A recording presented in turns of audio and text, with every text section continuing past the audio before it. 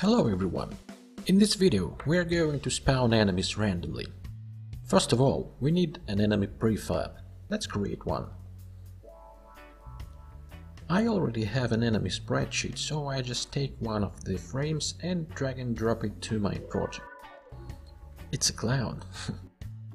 I think it's quite funny to have a clown as an enemy. Anyway, let's rename it to enemy clown. This enemy gonna need some components. One of it is a rigid body 2D with gravity scale equals to 2 to let our clown fall a bit faster and we need to freeze its Z rotation. Next component is an box collider.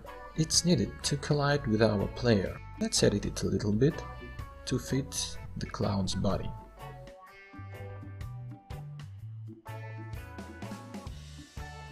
Another component is a circle collider, which will be used as walking base edit it a little bit too and put it right by Cloud's fit.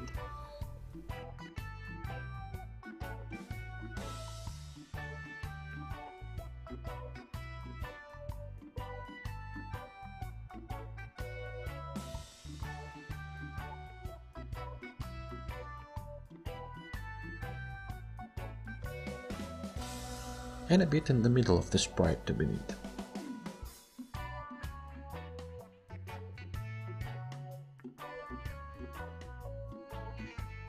Let's check it out.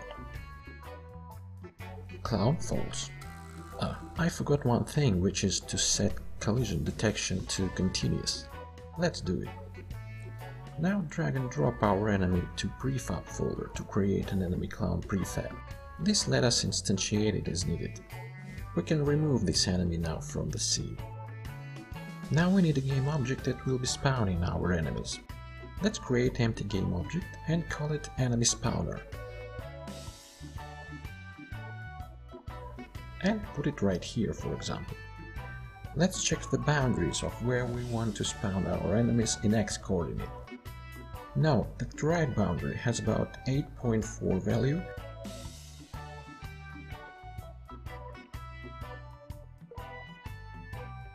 and the left one has about minus 8.4 value. Now our enemy spawner need a script. Add a new C-sharp script to it.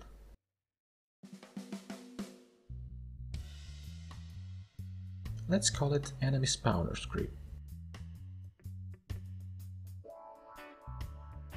Drop it to the script folder to be organized and open it in MonoDevelop.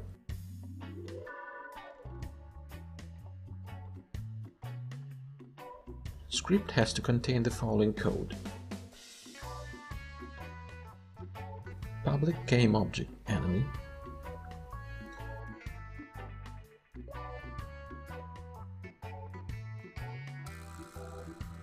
Float rand x, which means random x, vector 2, where to spawn,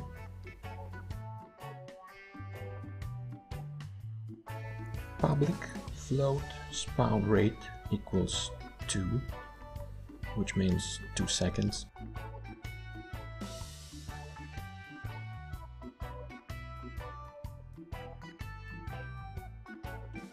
And float next spawn equals to 0.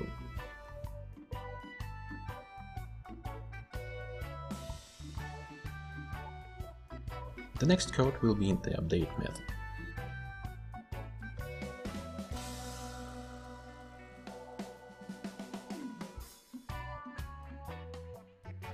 If time dot time.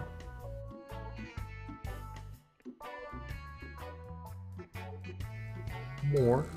Next spawn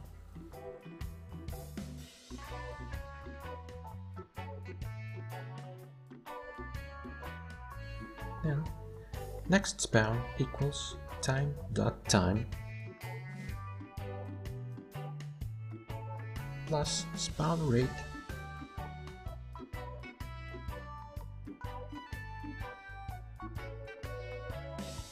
rand x equals random dot range.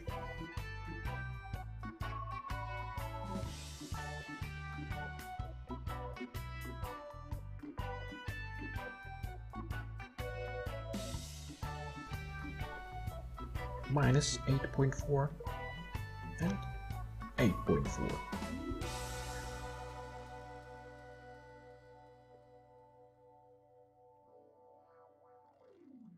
Where to spawn equals new vector 2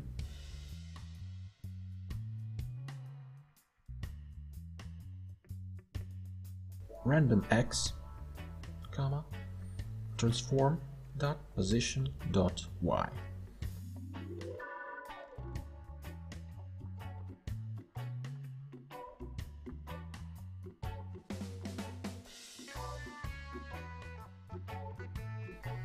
and instantiate enemy, comma, where to spawn, comma, and Quaternion identity, which means no rotation.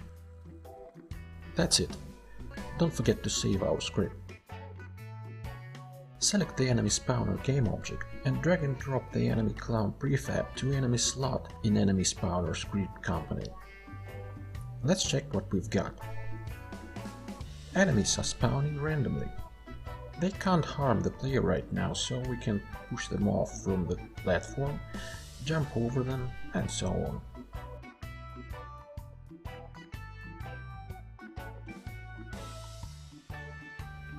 Let's tweak spawn rate a bit and see the changes. If we set 5, then enemies will be spawned every 5 seconds.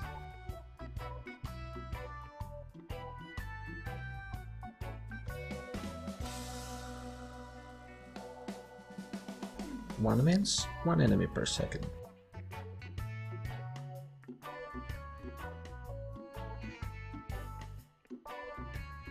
We are free to set any possible rate we want, even this. Enemy rain, yeah. Okay, thank you for watching, see you next time.